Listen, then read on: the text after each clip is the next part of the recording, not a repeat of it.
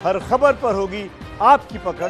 Download कीजिए ABP live app मंत्रिमंडल में आज जिन नए चेहरों को जगह मिलने वाली है उनमें से एक है संतोष सुमन। जीतन राम मांझी के बेटे हैं और एमएलसी हैं। सर सबसे पहले तो बधाई। धन्यवाद।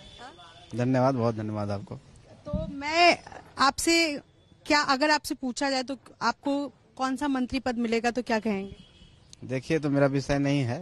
मैं कोई भी ज़िम्मेदारी मिलेगी तो निभा लेंगे, ये कहना ज़ाहिर सी बात है, जिम्मेवारी, कोई भी जिम्मेवारी जिम्मेवारी होती है और चुनौती उसमें होता है चुनौतियों का सामना करने के लिए हम सीखे हैं। हम लोग पार्टी चला रहे हैं तो भी एक चुनौती है। जिस समाज से हम आते हैं वो भी एक चुनौती है। उससे आगे बढ़ना है। और मैं धन्यवाद देना चाहता हूँ आदरणीय नीतीश कुमार जी माननीय मुख्यमंत्री जी का और हमारे राष्ट्रीय अध्यक्ष श्री जीतन राम मांझी जी का उन्होंने मुझ पर विश्वास करके मुझे चुनौती दिया है और मुझे आगे बढ़ना है। उसमें सौ फ़ीसदी देना है। क्या आपने अपनी जाति का ज़िक्र किया? क्या कुछ करना चाहेंगे आप पिछड़े तबके के लोगों के लिए और कैसे जिस जो आपको ज़िम्मेदारी मिलेंगी उसको कैसे निभाएँगे? देखिए जाति का मैं एक पर्टिकुलर जाति का ज़िक्र नहीं किया। मैं गरीब हमारी जो पार्टी है हिंदुस्तानी अवाम मोर्चा सेकुलर। गरीबों की बात करती है और ऐसे गरीब जो आज तक विकास से कोसों दूर हैं, समाज में बहुत पीछे जिनका तबका, जो समाज के सबसे पीछे तबका है और विकास उनके पास पहुँची नहीं। मैं ऐसे लोगों को आगे लाने की कोशिश करूँ, हमारी पार्टी उनकी आवाज़ बन के उभरी है। उनके लिए एडवोकेसी करती है, उनकी वकालत करती है। और जो बोल नहीं पाते हैं, अपनी बात को नहीं रख पाते हैं और ऐसे लोगों को लाइमलाइट में लाना है। विकास की रोशनी उनके पास पहुंचाना है। मुख्य एजेंडा हम लोग यही है, हम लोग की प्राथमिकता है। और उसके लिए जो भी विभाग मिलेगा, सभी विभाग में काम करने का मौका होता है और आपके अंदर क्षमता है और आप चुनौतियों का सामना करने का तो आप सारी जगह अच्छा करेंगे और अपने लोगों को जो जिस मकसद से आप बन रहे हैं, उसको पूरा करेंगे। आपने ये उम्मीद की थी क्या कि आप मंत्री बनेंगे?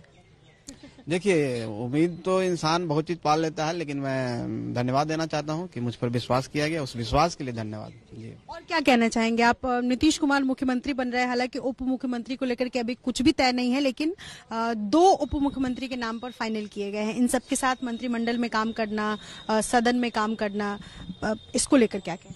देखिए आदरणीय नीतीश कुमार जी एक घटक दल आप भी हैं। जी जी।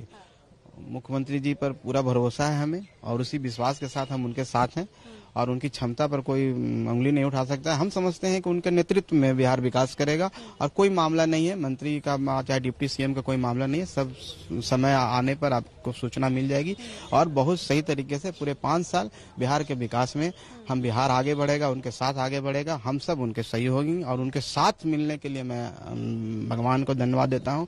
अपने पिताजी को धन्यवाद देता हूँ। और माननीय मुख्यमंत्री जी को और एनडीए के सभी घटक दल हमारे जितने भी कार्यकर्ता हैं, हमारे सम्मानित साथी हैं, सभी को मैं धन्यवाद देता हूँ। मतलब कैप्टन उप कैप्टन के साथ जो तमाम सोल्जर्स हैं सिपाही हैं वो सभी जो है वो तैयार हैं उनमें से एक आप भी जी जी निश्चित। मैं भी एक सिंपल कार्य करता हूँ और मैं भी संघर्ष के लिए चुनौतियों के सामना करने के लिए विकास के बिहार के विकास की भागीदारी बनने के लिए मैं भी तैयार हूँ। चलिए शुक्रिया बातचीत करने के लिए। संतोष मांझी है इस वक्त और इन्होंने बताया कि किस तरीके से इनका काम बेसिकली जितने दबे कुचले समाज में है, उन सबको आगे लाना है, सबके लिए काम करना है। पार्टी की आवाज़ बननी है और सबसे बड़ी बात, एनडीए में चूँकि ये भी घटक दल है और इसलिए सबको साथ मिलकर काम करना है। अपने सहयोगी विशाल राय के साथ निधिश्री एबीपी न्यूज़, पटना।